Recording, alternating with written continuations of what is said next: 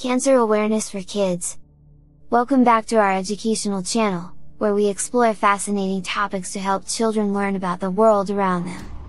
Today, we're going to tackle a topic that may seem scary but is essential to understand, cancer. We'll learn what cancer is, how it affects the body, and how we can support those going through it. So, let's dive in! Have you ever heard the word cancer before? Well, today, we're going to demystify it together. Cancer is a word used to describe a disease that affects our bodies in a specific way. Let's learn more about it. Our bodies are made up of tiny building blocks called cells. These cells grow, divide, and replace older damaged cells. But sometimes, these cells can start to grow too fast and in an uncontrolled way. This is what we call cancer. See how those cells are growing and spreading too much? That's what happens when someone has cancer. These cells can form a lump called a tumor, which can interfere with how our body works. Now, not all types of cancer are the same. There are different kinds of cancer, named after the part of the body they affect. For example, we have lung cancer, brain cancer, and even blood cancer called leukemia. Cancer can make people feel very sick.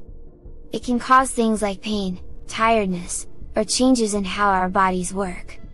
Sometimes, people with cancer need to go through treatments like chemotherapy, surgery, or radiation therapy.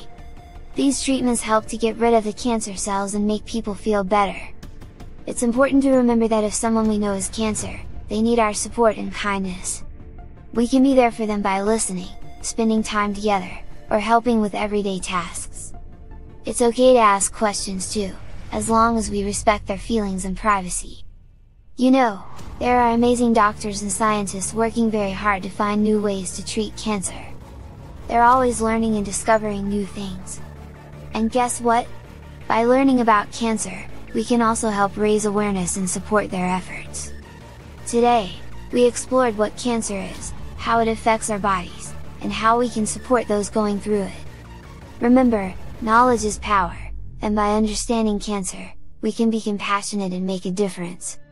Thank you for joining me on this learning journey! Don't forget to subscribe to our channel for more exciting videos!